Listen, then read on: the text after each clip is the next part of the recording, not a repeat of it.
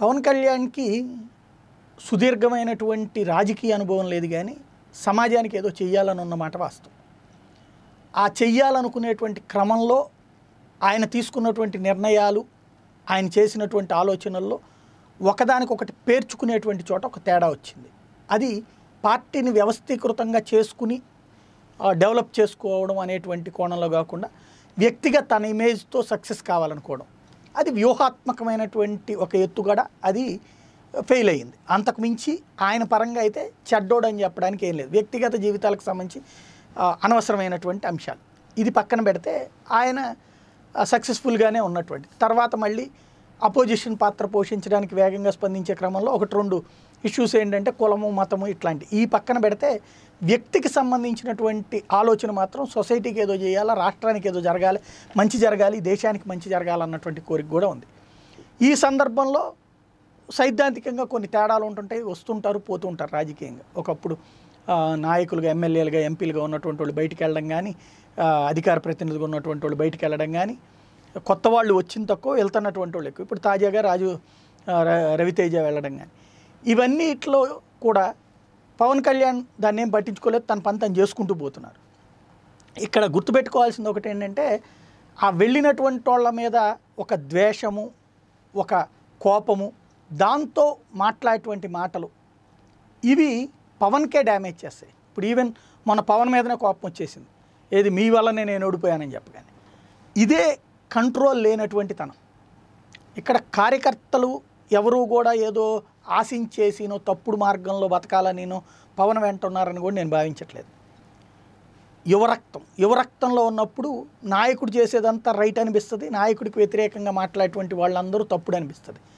అప్పుడు ఆ యువరక్తానికి విలువే ఉంటుంది. పవన్ అయితే జాగ్రత్తగానే ఆచితూచిని అడుగులేశారు. తేడా వచ్చిన తర్వాత కోపంతో ఒక సిస్టంలోకి పోతున్నారు. సిస్టంలోకి పోయినప్పుడు అగ్రెసివ్గా వెళ్ళినప్పుడు అట్టించి కూడా అగ్రెసివ్ రియాక్షనే వస్తుంది. ఆ సందర్భంలో నిర్మాణాత్మకమైనటువంటి విధానపరమైనటువంటి విమర్శలకు వెళ్ళాలి. లైక్ ఇసుకది పట్టుకున్నారు మంచిది. వ్యవసాయాన్ని పట్టుకున్నారు మంచిది. ఆ సందర్భంలో లోపాలను ఎత్తి చూపెట్టాలి కానీ వ్యక్తిగత దోషణలకు పోకూడదు. బయటికి పోయారు కొంతమంది. వ్యక్తిగత దోషణలు అనవసరం కదా. ఈవెన్ పవన్ కళ్యాణ్ స్వయంగా ఆయన రాజురావు రవితేజ గురించి ఎంత బాధ్యతగా ఇచ్చారు ఆయన ప్రెస్ నోటు. ఆయన రాజీనామాను ఆమోదిస్తున్నాం. ఆయన చెప్పినటువంటి మాటల్ని మాటలకి మర్యాదిస్తున్నాం గౌరవం ఇస్తున్నాం అని చెప్పారు. దట్స్ ఇట్ వయ సైద్ధాంతిక తేడా వచ్చినప్పుడు దానికి ద్వేషించాల్సిన పని లేదు కదా? అవతల ఉన్నటువంటి వ్యక్తి ద్వేషించినా కూడా నవ్వుతూ పక్కకు పోతే అయిపోయి ఇంతకుముందు నాయకులందరూ చేసింది మోడీని ద్వేషించలేదా ఎవరు? వ్యక్తిగత దోషణలకు పోలేదు వాళ్ళు? సైద్ధాంతికమైనటువంటి పాయింట్లు. కాంగ్రెస్ మోడీని దో క్రూరాతి క్రూరమైనటువంటి నేరస్తుడి కింద ప్రపంచమంతా చూపించింది. ఇప్పుడు ఏమైంది?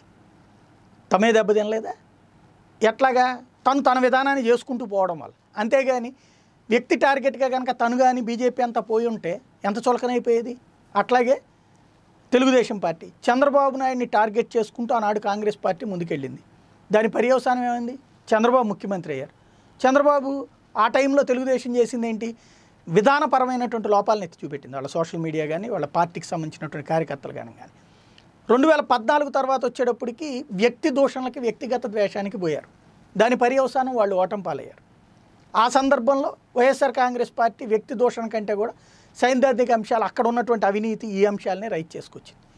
ఇప్పుడు వైఎస్ఆర్ కాంగ్రెస్ పార్టీ వాళ్ళు వ్యక్తిగత దూషణకి వెళ్తున్నారు.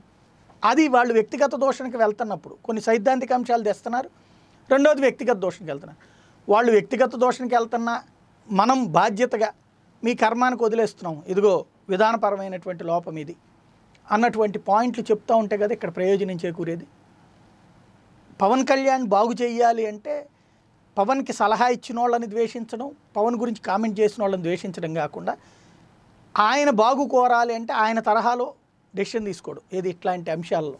ఉందాగా ఒక మాట చక్కగా చెప్పారు. అదే పాయింట్ని కార్యకర్తలు కూడా తీసుకుని ఉందాగా వ్యవహరించడం సైద్ధాంతిక అంశాలకు సంబంధించినటువంటి చర్చ చేయడంలో ఎలాంటి తప్పు లేదు. దాంట్లో లోపాలు సరి చేసుకోవాలి కూడా. పార్టీలు అంటే పార్టీ ఏది చేస్తే అదే రైట్ కాదు. లోపాలు సరి చేసుకోవాల్సినటువంటి బాధ్యత ఉంటుంది. అవి కూడా చేసుకుంటూ ఉంటే ఎదుగుదల ఉంటుంది. ఆ విధంగా పార్టీని ముందుకు తీసుకెళ్ళాల్సినటువంటి అవసరం కార్యకర్తల గణానికి కూడా ఉంది. ఇక నుంచి జర్నలిస్ట్ సాయి వీడియోలు వన్ లైన్ యాప్లో కూడా అందుబాటులో ఉంటాయి.